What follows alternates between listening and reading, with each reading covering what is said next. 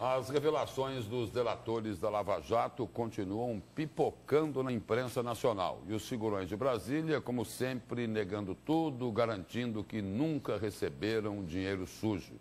Na delação do ex-presidente da maior empreiteira do país, o empresário Marcelo Odebrecht, afirmou com todas as letras, em alto e bom som, que não conhece nenhum político no país que tenha conseguido fazer qualquer eleição sem o Caixa 2.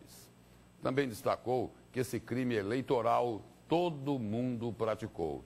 E abre aspas. O cara pode até dizer que não sabia, mas recebeu dinheiro que era Caixa 2. Fecha aspas. E o esquema de corrupção se espalhou principalmente nos grandes partidos, do PT de Lula, passando pelo PSDB de Aécio Neves e, é claro, pelo PMDB de Michel Temer.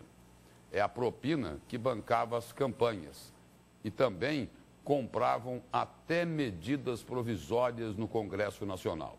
Em apenas duas delas, a Odebrecht pagou 150 milhões de reais. E a tática era bem simples. Os parlamentares criavam dificuldades para vender facilidades.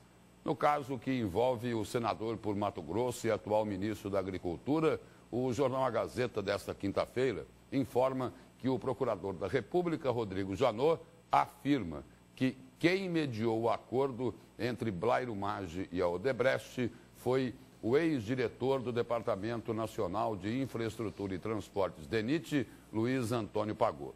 E o pedido de 12 milhões para a campanha de reeleição de Blairo ao governo teria sido feito diretamente pelo ex-secretário de Fazenda, Éder de Moraes.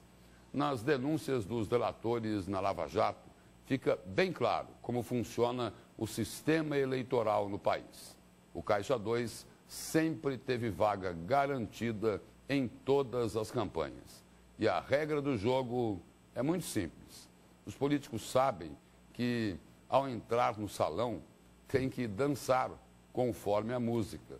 E pelas delações, todos se esbaldaram na festa da corrupção.